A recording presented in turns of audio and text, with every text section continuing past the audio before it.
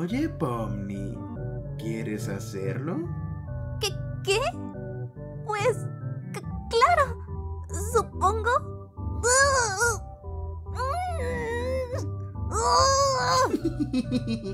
Oye, nada de cosas no cristianas en este lugar.